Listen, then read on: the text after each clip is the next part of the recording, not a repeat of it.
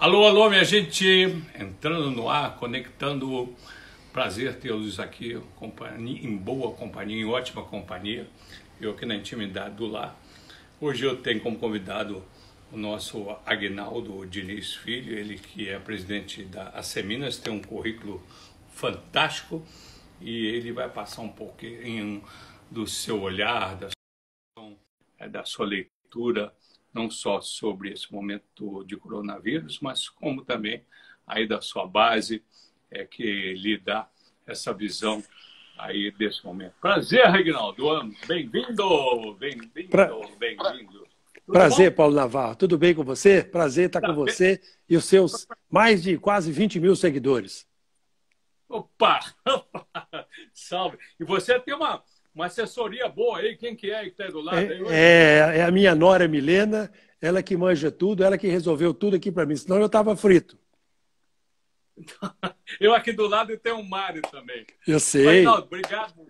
Obrigado por estar lado a lado aqui com a gente mais uma vez. Eu que conheço a sua trajetória, não é de hoje, tá muito é que, que é público e notório tudo que você tem feito aí em prol de Minas Gerais e do Brasil não estou puxando o saco. Você é uma notoriedade, uma pessoa muito querida que a gente conhece. E eu tenho que começar com uma introdução. E tenho que falar do, do da origem dessa grande figura, que me corrija se eu estou errado, mas é a Porta do Sertão. Que cidade que é essa, Guinaldo? Exatamente, Paulo. É a Porta do Sertão, chama Curvelo, é uma cidade a 182 quilômetros de Belo Horizonte é, você definiu bem, a porta do sertão. Depois de Curvelo, vem Montes Claros, Corinto e essa coisa toda. Mas é uma cidade maravilhosa, viu? Tá. E dali foi é, a, a, da porta do sertão e também de uma história bonita, uma história da família, né? Antes da gente entrar aí na economia, falar aí desse momento e tudo, um pouquinho aqui. É, nasceu lá, é, formou lá, tem o primeiro trabalho. Não. Como é que foi essa história? Não, não, não, não. Eu saí de Curvelo, Paulo, muito novo, com cinco anos. É, vim para Belo Horizonte e praticamente criei aqui. É, mas grande parte da minha família era de Curvelo, é, alguns avós, mas eu vim e vim para Belo Horizonte com cinco anos e estou aqui até hoje. Espero ficar mais outro tanto semelhante a esse que eu já estou. Se não tiver problema com o coronavírus. Você, sua família, saúde e também para quem está nos acompanhando aqui, para a gente introduzir esse bate-papo aqui saudável. Saúde, saúde Paulo, saúde. Mas aqui, dentro dessa introdução aqui, você faz parte aqui da terceira geração de uma família que em 1872 criou a, a, a fiação em tecido certo cachoeira, é isso mesmo? É, Paulo, você, você pegou os dados. Eu sou a quarta geração, e não a terceira. Quarta geração.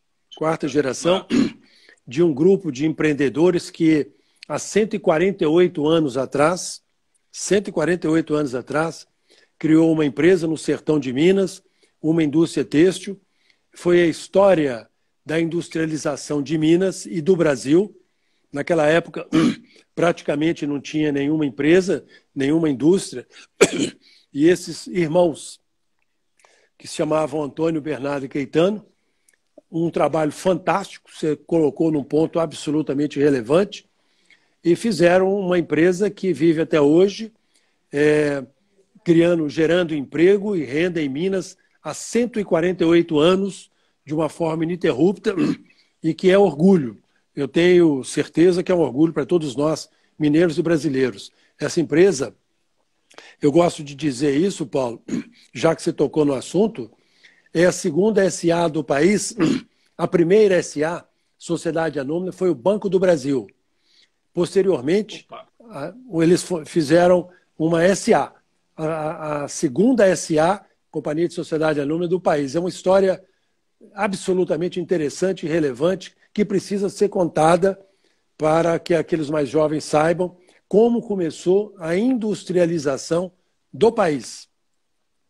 Tá. E você me citou é, é, Sete Lagoas, caminho de Sete Lagoas, não era a, a, a indústria? Paulo, é, sim, é numa cidade chamada Caetanópolis, a mais ou menos 40 quilômetros de Sete Lagoas. É, então, os três irmãos chamavam Antônio, Bernardo e Caetano, eram jovens, tinha 18, 20 anos, resolveram fazer uma indústria têxtil. Imagina, porque a mãe fazia tecido para escravo, ainda era na época da escravidão.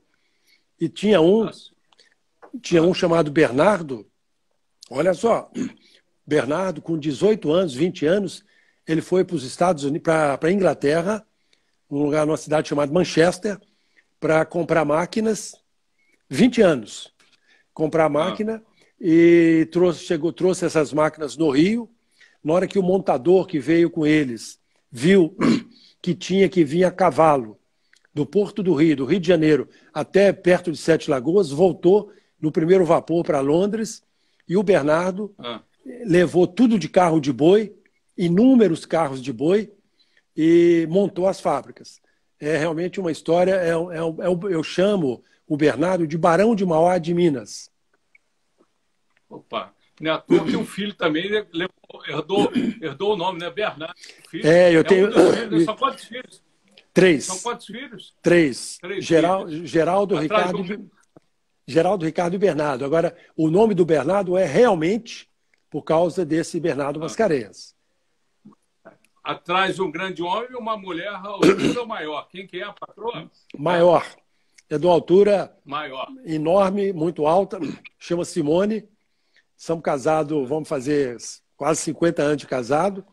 Professora, doutora, mestre é, pela, pela Universidade Federal de Direito, em Direito Constitucional. É uma pessoa inteligentíssima. Os filhos, os, os, filhos, eu falo que pela inteligência puxaram a mãe. Compartilha aí. Olha aqui. É, é, é, esse assunto aí eu queria voltar lá na frente, que eu sei que a sua. Você está com a, com a língua aí doida para soltar sobre o problema econômico de Minas Gerais, do Brasil, do mundo dentro dessa pandemia. Mas já que você, eu, eu provoquei ou não, né? O assunto Céu Cachoeira, hoje, nesse momento que você tem a palavra chinesa arrepia, que ali, sobretudo, aí, a, a, a direita, de maneira geral, mas hoje, como é que leitura que você faz dessa invasão e de um valor desse, desse patrimônio que é a própria Serra Cachoeira, é, dentro desse contexto aí que de repente tem uma invasão de chinês? Tem leitura ou não? Cabe ou não cabe? Tem, cabe, cabe leitura.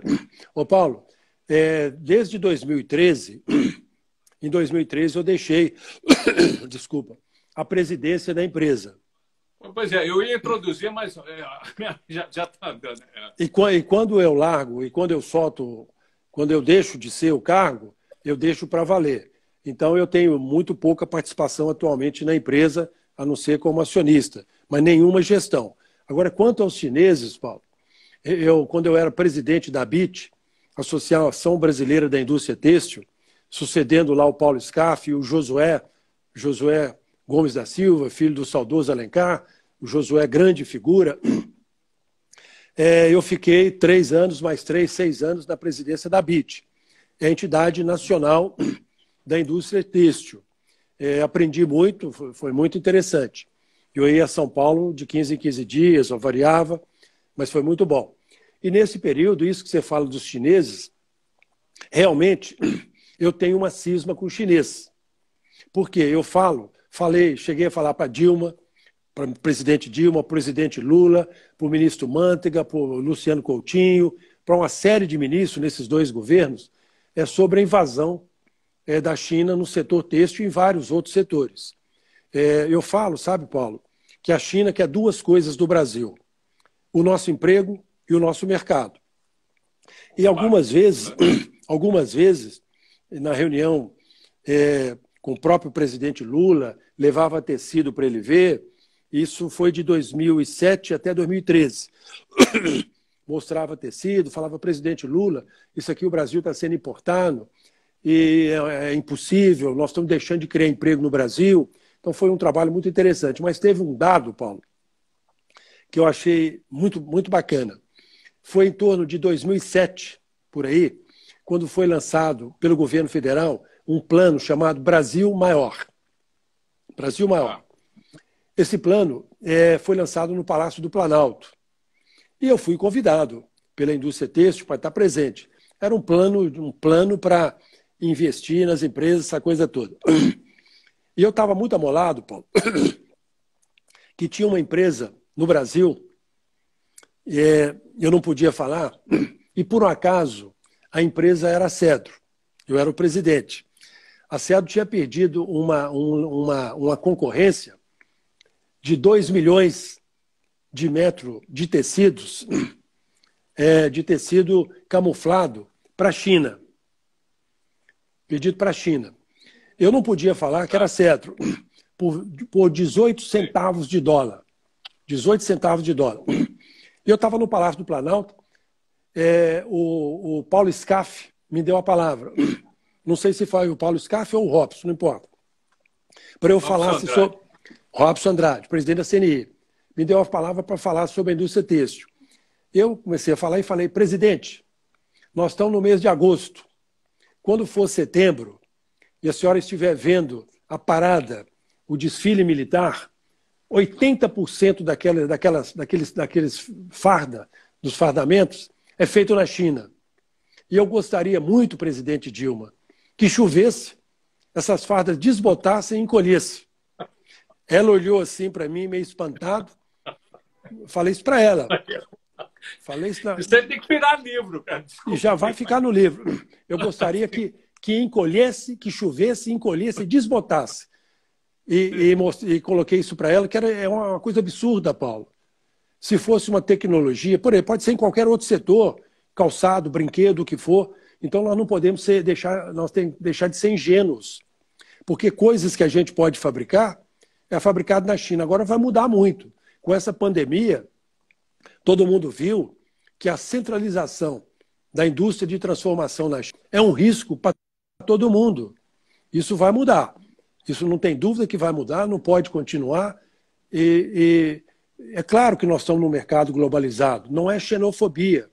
Definitivamente não é xenofobia. Mas todo mundo se protege. E nós, totalmente abertos, é, desprovido de qualquer controle maior, e no caso do setor têxtil, por qual eu briguei duramente com, com, lá na BIT, para a sobrevivência do setor. O setor têxtil, Paulo, já que você tocou, gera 1 milhão e 600 mil empregos diretos no país. Um emprego no setor têxtil geram, geram quatro é, na, na, cadeia toda. Então, é quase 6, 7 milhões de, de, de trabalhadores é, em todo o setor, em todo o país. E eu falava, presidente Lula, nós não podemos permitir, presidente, que a China tome conta da indústria brasileira. Ele falou assim, Diniz, ele me chamava de Diniz. Ô, Diniz, calma, não é assim, não. Assim, então tá bom, presidente. Gente, Rinaldo, é uma, é uma trajetória, enfim. Quando a gente vê uma bandeira do Brasil hoje, aqui diferente de outros países, sobretudo da América, onde que se ergue uma bandeira do Brasil, o orgulho é exatamente do produto, né? É, do, do, que a gente produz. Enfim, esse sentimento nacionalista. Claro. nacionalismo é muito importante. Eu acho que o claro. brasileiro vai, vai despertando para isso, para essa necessidade e tudo. Mas é bonita a sua trajetória. Eu estou vendo muita. Eu não consigo ver aqui também, não sei se você consegue, muita gente elogiando as suas palavras. Eu estou vendo aqui muito coraçãozinho aqui, mas por uma trajetória muito bacana. Mas vamos lá, que leitura você passou pela tem toda uma ficha aqui do seu histórico e tudo, mas vamos pular um pouquinho para chegar no assunto que você quer. Mas, passando você pela, pelo conselho também da CEDO, é, o seu trabalho todinho, até que você chegou a Seminas, em que ano exatamente? Tem, já tem, tem mais de um ano, né? Não, anos? Paulo, eu estou lá na Seminas desde 1985 que eu frequento Sim, a Seminas. Ah, Como presidente ah. foi do ano passado. O mandato lá são de dois anos. É um mandato de dois anos. É, eu já estou quase no fim do mandato. São dois anos lá, é, que é o mandato da, da associação. Mas eu estou na associação há algum tempo, frequento lá desde o Lúcio Bem Querer, Francisco Américo Matos de Paiva. É, são vários presidentes. É uma entidade na qual eu aprendi muito aprendi muito mais do que contribuir. Por quê, Paulo? Em 85, eu vim para Belo Horizonte. Eu era gerente da fábrica em Sete Lagoas. Era uma fábrica, fábrica grande, uma fábrica com 1.600 empregados. Fomos para lá, morava lá eu, a Simone e os meus meninos nasceram lá. e a minha, a minha, a minha cultura era chão de fábrica. Eu entrava na ah. fábrica às sete horas da manhã e saía às sete horas da noite. Então, era totalmente focado nisso. Focar, para você ter ideia, nós trabalhávamos no sábado até cinco horas da tarde. Bom, ah. aí eu me chamaram para diretor. Eu vim aqui para Belo Horizonte. Sucedeu um grande amigo nosso, uma pessoa que eu gostava muito, faleceu, é, chamava Renato José Alves grande amigo. Eu vim substituí-lo porque ele tinha falecido. E acontece, Paulo, que, que é, realmente a, o meu espírito era chão de fábrica. E lá na Associação Comercial de Minas, com o convívio com os meus amigos, eu aprendi um pouco mais da, do processo associativo, é, que as coisas mais amplas. Então, eu devo muito, muito à associação. E estou lá, vai completar agora um ano e seis meses de presidência, junto com uma diretoria brilhante, pessoal altamente comprometido, um grupo de colaboradores da mais alta relevância. Então, é uma entidade, associação, Paulo, gosto de falar isso. É, no dia 6 de janeiro, a Associação Comercial vai fazer 120 anos. 6 de janeiro de 2021. É, ininterruptos. Nós somos as entidades de classe das mais antigas do país. Nós somos a mãe, a Minas é a mãe de todas as demais outras entidades de classe aqui de Belo Horizonte. E eu falo, Paulo, coisas que a Seminas já fez no passado. É, segundo história, a Fiat nasceu dentro da Seminas. A Usiminas nasceu dentro da Seminas. Aquele processo de separatista do Triângulo Mineiro, que queria separar o Triângulo Mineiro de Minas, é, isso foi em 87, é, a, a, grande, a, a grande, a, a, grande batalha, é, a grande defesa foi feita pela Associação Comercial Empresarial de Minas. Então é uma história absolutamente relevante. Tá. Agora, nesse momento, vamos, vamos entrar, é, focar um pouquinho nesse momento. Eu tenho um dado que você me passou, a sua assessoria, que Belo Horizonte, 70% da economia da, capital é comércio. Isso. E daí a sua preocupação, e pelo que eu conversei com você previamente, tudo, você não é nada positivo com o que, é, não só no mundo, mas com o futuro exatamente aí da nossa cidade, de Minas Gerais e do Brasil afora. 70% do Belo Horizontino, então, vive do comércio? Ô, Paulo, não é só em Belo Horizonte. A participação do comércio na formação do PIB é muito grande, muito grande. É 60%, 70% é realmente comércio na formação do PIB. E é o caso de Belo Horizonte. E está sofrendo horrores com o problema da pandemia. Nós estamos realmente numa situação, eu falo, Paulo, que nós estamos numa crise, numa pandemia com pandemônio. Nós estamos numa crise sanitária, uma crise, uma crise econômica e uma crise social e uma crise política. Então juntou quatro problemas da mais alta densidade. Então, o comércio, por exemplo, desde tem 85, 84 dias que o comércio está fechado. Não a parte essencial, mas tem grande, grande parte fechada, como todos nós sabemos. Isso já gerou, já perdeu, nesse período, uns 25, beirando a 30 mil empregos. Isso é um problema da mais alta gravidade. Mas o que fazer? É, outro dia eu tive uma live e participei da criação de um, de, um, projeto muito importante no governo de Minas, pela Associação Comercial, que é o Minas Consciente, que mostra, é, é um trabalho do governador Romeu Zema, que mostra como poderíamos enfrentar é, essa crise, esse problema da pandemia, juntamente com o equilíbrio com o trabalho, com a abertura do mercado. Porque nós não podemos fazer uma abertura abrupta. Tem gente, eu ouço, que quer abrir, vamos abrir, vamos abrir, mas nós temos que pensar duas vezes. Porque numa pandemia, para que é a quarentena numa pandemia? Eu digo isso sempre. Não é para que não haja mortes, que vão morrer. Numa pandemia, lamentavelmente, morrem pessoas. Mas a quarentena é para evitar que não morram pessoas sem o um atendimento hospitalar. Então a gente tem que ter esse equilíbrio para ver como que a gente pode trabalhar, o que, que a gente pode abrir e esse programa Minas Consciente, que o governador Zema fez de uma forma muito eficiente, é, ele não obriga as prefeituras. Como sabemos, as prefeituras são autônomas, elas podem agir por si, como estão agindo aqui. O prefeito de Belo Horizonte pode tomar uma decisão, o de Uberaba pode tomar a mesma decisão. Mas o programa do governador Zema é feito em ondas. Vamos abrindo, se não houver, dependendo da, do processo de, da cota de transmissão e o nível de ocupação de leitos, abre mais se diminuiu a contaminação, a transmissão e tem disponibilidade de leito, abre mais. Havendo o contrário, tem um retrocesso, porque nós temos que preservar a vida. Eu falo que a economia, a economia volta, a economia vai voltar. Vai demorar, vai ter muita dor, não vai ser hoje, não vai ser amanhã, o sofrimento vai ser grande, mas uma vida não. E nós estamos caminhando para 32, 34 mil mortes, óbitos, né? Então, Paulo, a gente tem que olhar o equilíbrio. Eu falo sempre, alguém já disse, um filósofo, que a razão está no meio. Então nós temos que ter o equilíbrio da balança.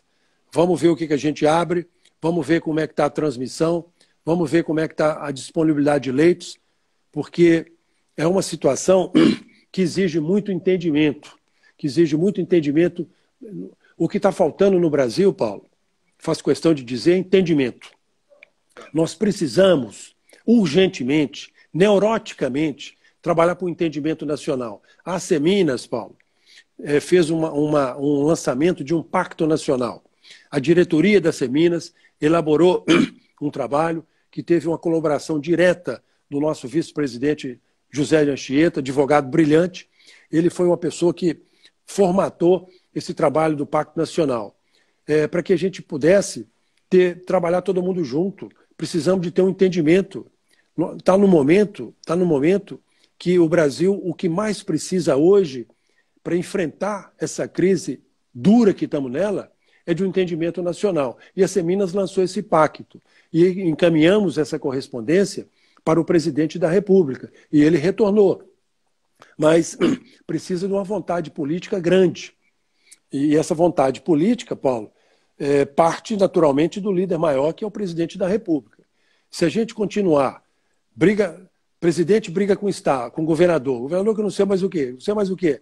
É, nós vamos ter dificuldade para enfrentar essa crise que é séria, tanto como sabemos todos, a crise sanitária, a crise econômica, que vai piorar. Eu falo, Paulo, o, o segundo semestre vai ser uma situação difícil para a economia, difícil.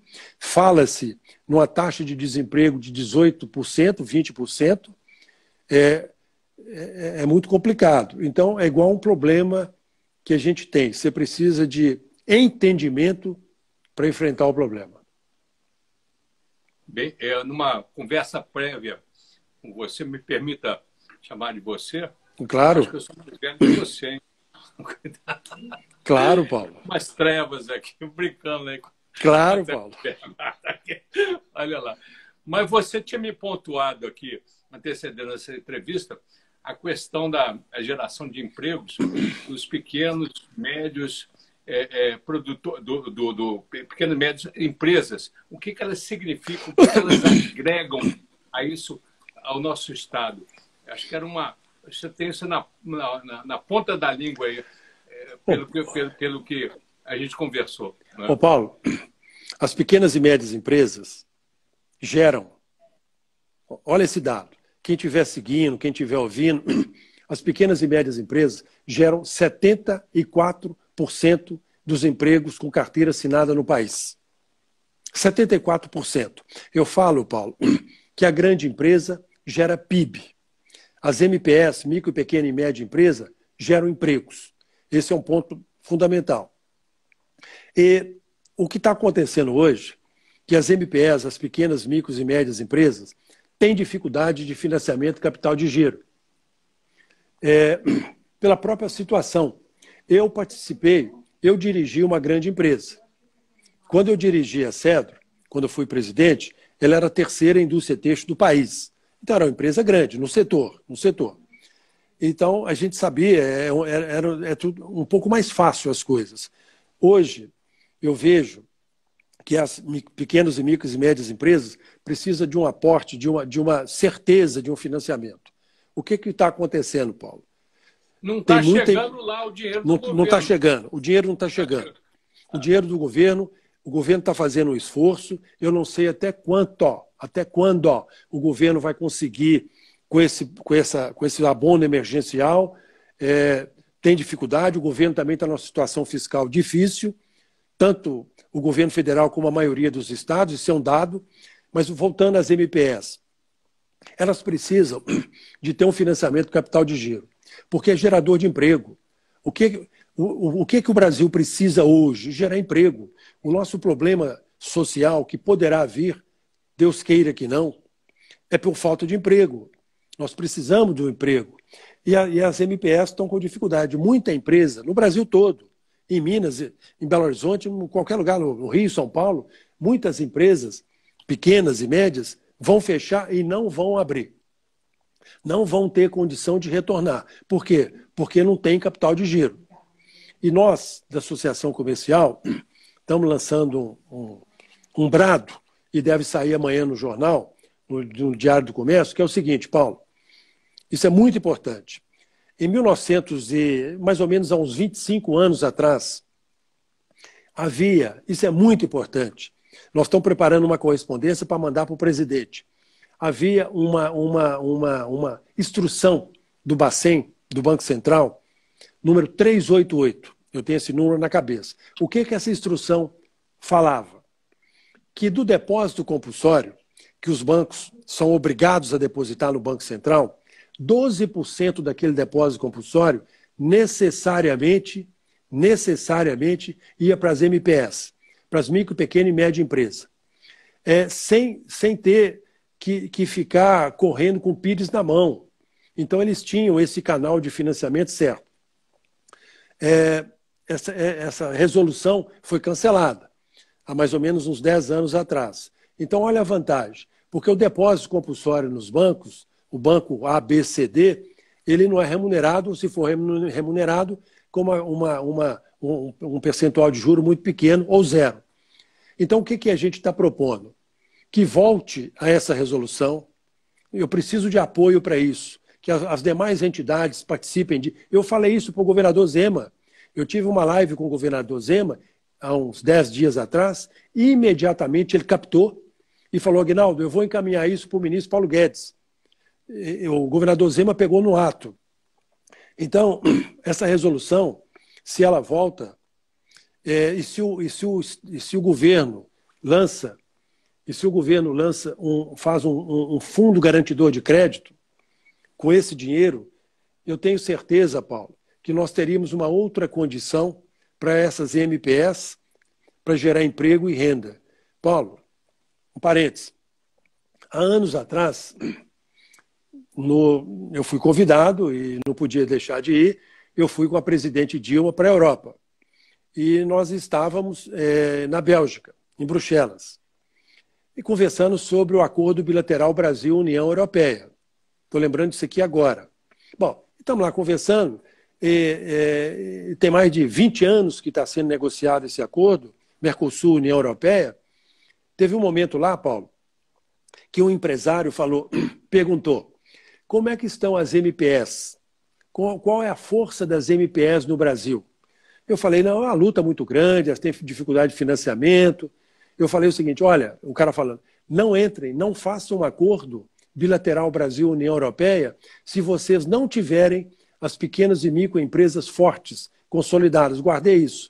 Aí ele falou: 45% da exportação, olha só, Paulo, de vários países da Europa é feito pelas MPS, porque tem um grande valor, porque é grande gerador de emprego. Então, tomara que o nosso brado tenha eco, é, eu fiquei muito satisfeito quando contei isso para o governador Zema. Ele, de cara, pegou, é, percebeu, e eu estou aqui, eu coloco que as outras entidades de classe de mim, de Belo Horizonte, possam participar disso, para que a gente possa ter. Você vê, Paulo, o dinheiro que vai ficar parado no Banco Central seria encaminhado para as MPS. É preciso do apoio de todo mundo para que a gente possa dar essa virada no país. Agora, o dinheiro que, eu, que foi, entre aspas, liberado pelo, pelo, pelo governo para incentivo de, de empresas de maneira geral, é, pelo visto, aí não está chegando aí para onde deveria ir. É, diz que os bancos estão não estão cumprindo o seu papel social. Você concorda? É, é, é, concordo, Paulo. É o seguinte: é, segundo fala, está tá havendo um empossamento do dinheiro. Porque nós estamos numa crise econômica, é, não vamos ser alarmistas. Não vamos ser alarmistas. Mas nós estamos numa crise econômica que está caminhando ainda para o seu ápice. Tá. E o banco, ele realmente ele está pensando duas vezes. Ele está pensando duas vezes para emprestar esse dinheiro. É, então, é, o dinheiro não está chegando. Isso não está chegando para a grande empresa também. É, e aí e fica você nosso... acha que o, que o, governo tem que, tem que apertar ou não? A posição dele está Tem que apertar. Você tem que apertar. Tem... Dessa, dessa situação. Tem que apertar, tem que apertar muito, tem que ter, ter as garantias, porque é, é hoje quem vai tomar um dinheiro, o banco, qual a garantia que você me dá? Se o camarada está numa situação de fechar a empresa, ele não tem garantia para dar. É, e o banco pede a garantia, sempre foi assim. Aí o governo poderia, porque quem pode garantir, quem pode emitir dinheiro é só o governo central. O governo está criando aí, precisa de criar um fundo garantidor de crédito é, para passar essa transição é, que está muito difícil. Então, o governo central ele precisa de agir mais e ver com os bancos, porque, segundo me consta, tanto na grande empresa, nem se fala nas MPS o dinheiro não está chegando. Tá. O que você, é, é, à frente da Seminas, é, que, que na, na, na, sua estatística de informações, quem está tá levando a pior nesse momento dentro do, da área comercial?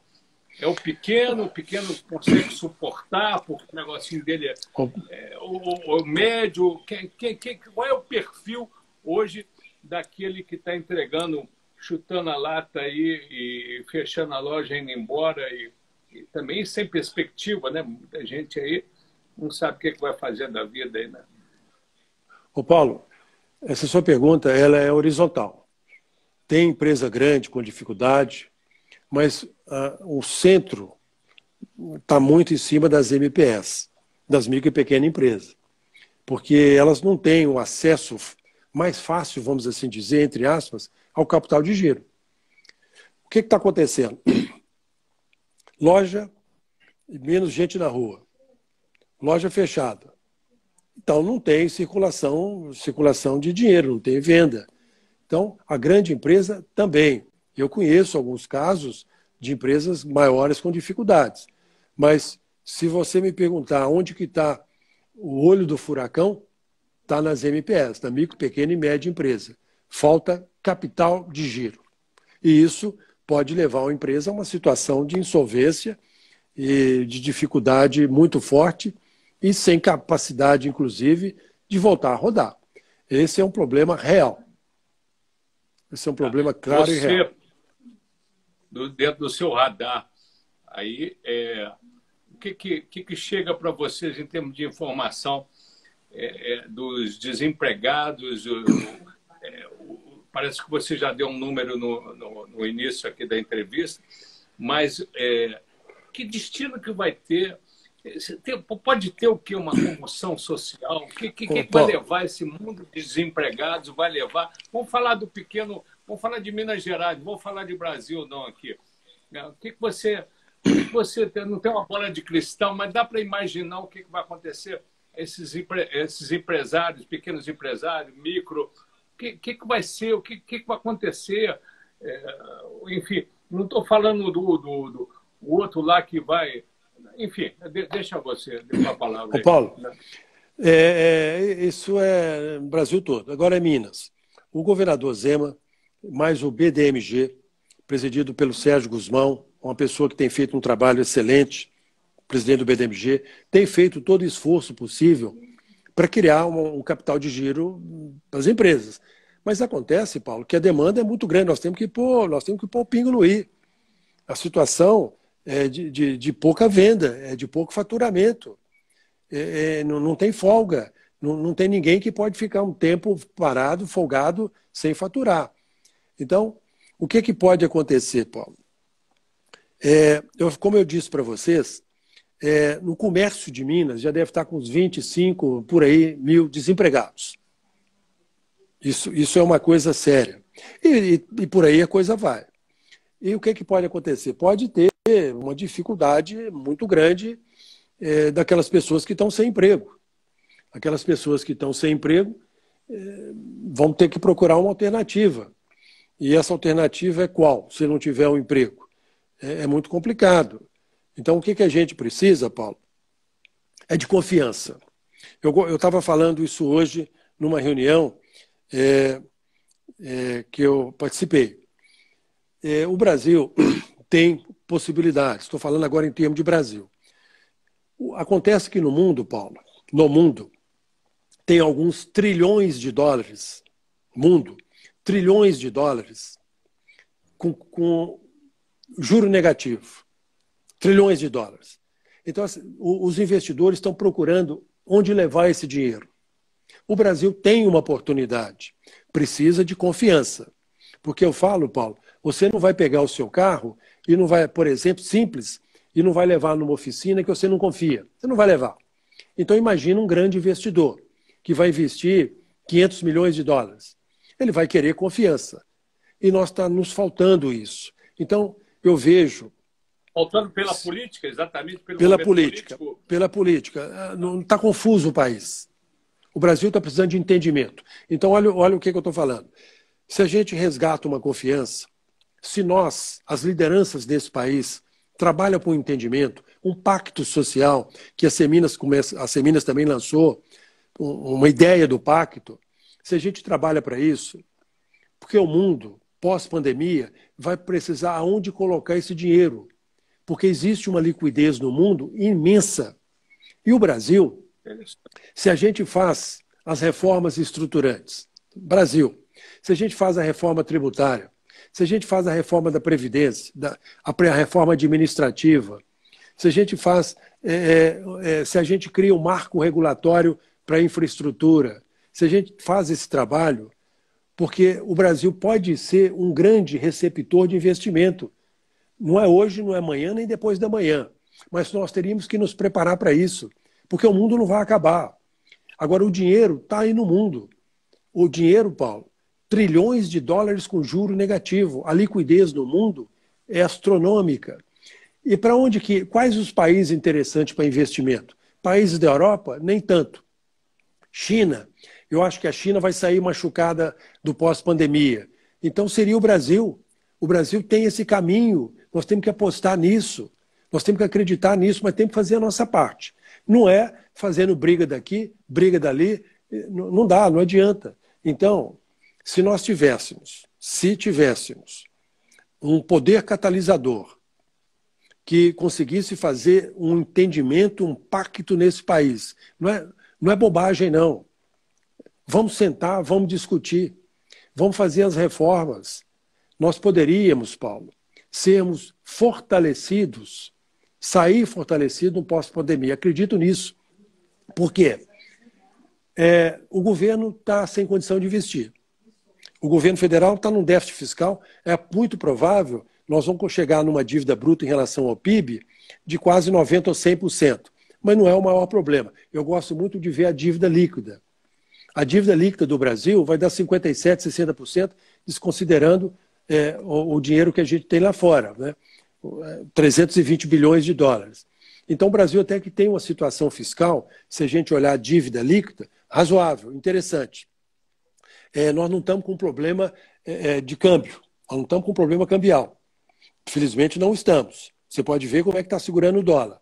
Mas o que, que a gente precisa, Paulo? Se todo mundo que estiver te ouvindo acreditar no que a gente está falando, os seus seguidores, vamos pensar, vamos pensar num país de crescimento, vamos parar com, com briga daqui, com briga dali, com desentendimento daqui, vamos partir para uma união para enfrentar a crise que a gente está nela.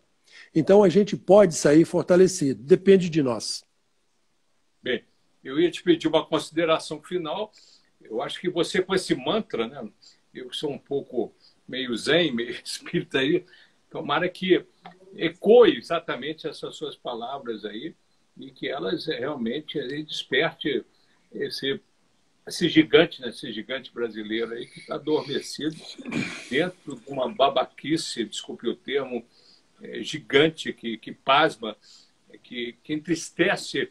Hoje eu, como jornalista, é. muitas vezes é até me sintonizar com a própria mídia, dado a ver a, a imparcialidade da, é, da, das mesmas e, e falta de, de, de, nacionalismo mesmo, de, de vários segmentos para estar é, nesse, nesse coro, nesse mantra, como eu falei aqui, de abraçar esse Brasil, de acreditar, né? uma, uma corrente para frente Brasil, independente, suprapartidária e, e, e sobretudo, com esse norte que vocês, empresários, têm aí ecoado aí. É... Bem, quem sabe aqui de Minas saíram uma Inconfidência Mineira, daqui também esse grito, esse bravo aí de vocês aí. Eu acho que com ele aí é, que ele sirva aí, que ecoe aí, aí pelo, pelo Brasil afora, aí pelo mundo, com boas energias. A palavra final, é, acho que é, seria redundância, mas eu deixo aí facultado para você, agradecendo aí a sua equipe, a sua gentileza, e parabenizando, é, que sou seu fã, como também conheço várias pessoas, quando citamos aqui, colocamos o seu nome aqui, disponibilizando ele dentro da nossa rede. É, é, para me parabenizar. É, esclareço também que, na sequência daqui é, dessa live, a gente vai disponibilizar em IGT, em, em, em, GT, em IGTV. A gente tropeça nesse admirável mundo novo. Aqui. É, essa tecnologia. Estamos aqui fazendo o trabalho. A gente tem muito, muita gente que, que, que vê o, uma forma mais despojada. Um, um adeus final aqui para quem está aqui. Paulo, né? eu agradeço esse seu convite. Você é um batalhador, te acompanha há muito tempo. Agradeço essa oportunidade. É muito importante estar com você, com o seu pessoal, para que a gente poder falar o que, que a gente pensa, é, opinião pessoal, é, para que a gente possa realmente ter uma visão. É, tem que ser otimista. Exi existe um problema sério Existe um problema sério, não nos enganemos. Mas vamos ter, vamos ter um otimismo, vamos acreditar, como há pouco que eu te falei, isso que a gente pode caminhar, o Brasil que gerar confiança e tocar para frente. Nós somos um país aí maravilhoso, um país que tem recursos, tem gente da melhor qualidade. Agora nós precisamos de gerar confiança para fora e para dentro. É, agradeço a você mais uma vez. É, eu quero agradecer a minha nora Milena, que foi a assessora técnica. Assessor bate palma. A Simone, que, a, Simone que está chegando aqui agora é a pessoa, é a professora, é, é a pessoa que mais entende direito constitucional. Então, Paulo, um gra grande abraço, sempre à sua disposição. Eu sou um admirador seu. Saúde e paz. Saúde. Fica com saúde. Deus. Saúde, saúde. Muito obrigado. E um brinde aí. Uh! Brinde.